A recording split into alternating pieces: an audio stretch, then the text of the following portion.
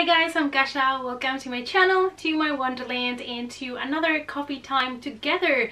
So today I have for you a sweet and short video. This is my spoiler-free review of The Lodge. It's coffee time.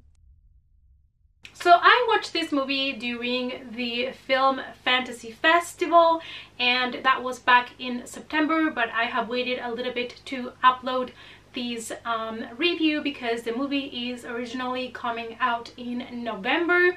So this movie was so great and the reason why I'm making a spoiler-free review is because it is a movie that it's best if you go into it not knowing too much and so I decided that making a spoiler-free review would be nice for everybody if they want to know what the movie is about but without any spoilers and then you can go and watch the movie and enjoy. So Veronika Franz and Severin Fiala have teamed up again to direct this movie. They already worked together um, in another movie that it's called Goodbye Mommy and in Germany it's called Ich seh Ich seh and they did that one completely in German. It is currently available in Netflix in Germany right now. I'm not sure if where you live it's available. And this is the second time that they have teamed up to do a movie which is another weird slash disturbing movie as their first collaboration was. The Lodge is a 2019 American slash British Hammer movie and the release date is the 15th of November. The film generally has received really good feedback, really good critics, and they all praise the acting and the horror elements that the movie has. And it's trying trying to kind of portray the evil that is inside each one of us and who can you trust and who can you not trust. Now let's try to summarize the plot and keeping it completely spoiler free basically we're following two kids that are going through um, you know the dad dating a new woman. So they are not really taking it that great. They don't like their new stepmom and they are adopting. So the dad decides that it would be a great bonding experience to go for Christmas to these cabin in the middle of nowhere and have like a nice family Christmas time and see if the new girlfriend, you know, can bond a little bit better with his children. So they go to this cabin and the father has to go for a couple of days to finish some work. So the stepmom is left alone there with the two children and then there is this snow uh, storm, there's this blizzard they're completely incommunicated and when this happens they start also to realize that in this old house there are some secrets that are being uncovered and seems that something is hunting them. So the casting was on point. The kid that we see here is same actor that plays Billy Denbrough in the It uh, new movies, uh, you know, the kid version obviously. And all characters were amazing. This is a very small cast. Like most of the movie, like 99% of the movie, you're following only four characters, the stepmother, the dad, and the two children. So they had to carry the whole weight of the movie especially the stepmom and the kids. And the work that they did was amazing. It was so believable. It was so creepy. And especially the children to be involved in such a movie that it's so weird disturbing and complicated.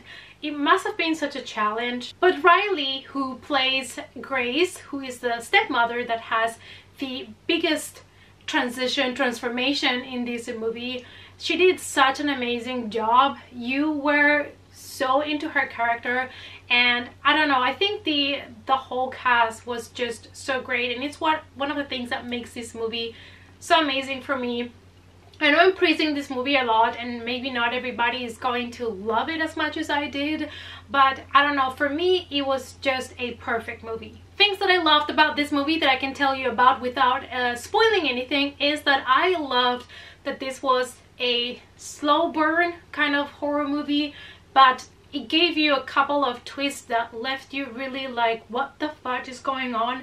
And it makes you question yourself a lot of things which I think is great when movies make you question things when you're not sure where things are going what just happened where you are not even sure what's real what's not real. You know I absolutely love when movies make me think and they kind of go out of the box to shock the audience and it's not just the basic ABC horror movie so I absolutely love that from this movie. Also, um, because nearly the whole movie was shot in this uh, house in the middle of nowhere, I think that they did an amazing job by utilizing every room and it never feels repetitive, which is something super easy to do when you have a movie that takes place mostly in one space. But this movie was shot from different angles, uh, from different perspectives, and it made the movie interesting and engaging the whole time even if you were trapped in the same house which also made it in a way for the audience to feel that they were trapped as the family was in this house because they could not leave because of the blizzard and I also love that it gives you this feeling, like I said, where you don't know where things are going. So nobody is 100% evil, nobody is 100% good. Everything is open to interpretation and things shift all the time. And I love that character exploration so much. And I think it's a great exploration of the evil inside of the humans. If you loved movies like The Witch or Hereditary, Midsommar, all these kind of movies that are really dark and different and make you think, you'll definitely love this movie. It's one of those movies that when you leave the theater, you're still thinking about it and you know, days after the movie, I was still thinking about it. I was still thinking about the end. I was still thinking about the characters. So I absolutely loved it. How many times have I say I loved it in this video?